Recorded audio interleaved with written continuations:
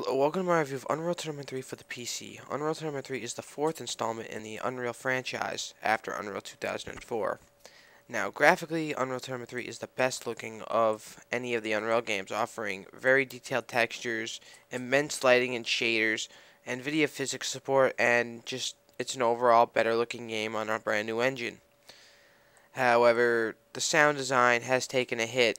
The sound design is more serious tone and doesn't really uh, complement the Unreal Tournament games anymore. It's more of a serious type of warlike tone, and Unreal Tournament was well known for its quirky, joking, voice acting, arcadish style. It's not bad, it's just a change, and for many it was an unwelcome change. Now, it's difficult, being a franchise like Unreal, to keep uh, sales figures high when you keep spewing the same game out the Unreal Tournament 3 developers knew this, and instead of the original tournament style single player, they developed a campaign. However, this campaign is very cliche and pretty much forgettable. Uh, it has it features you know the necromancer, which is an alien type of group, invading your planet, and you must defend it and drive them back. Yeah, it sounds a lot like Gears of War campaign, doesn't it? And for the most part, it feels like that, except in the Unreal Tournament franchise and it's very hard to um, add, you know, the Unreal Tournament 3 games a campaign because they were never meant to be a campaign type of franchise. You can't take Capture the Flag and try to implement it into a campaign mode. It just doesn't work.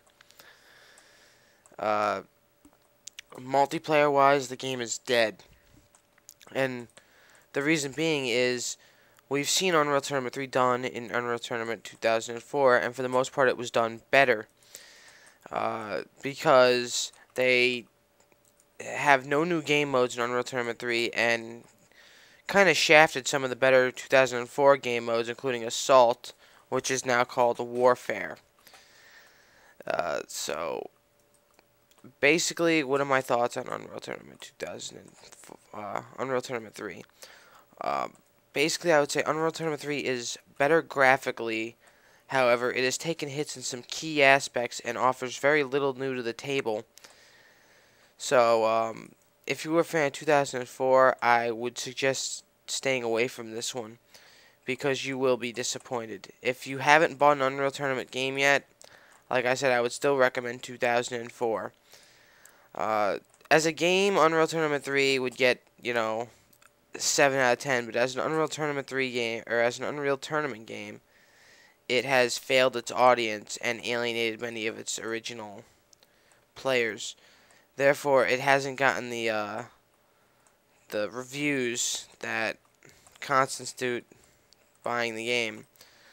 I would say give this one a 6 out of 10. I mean, you could try it if you want, but still, the older games, in my opinion, are still better. Thanks for watching.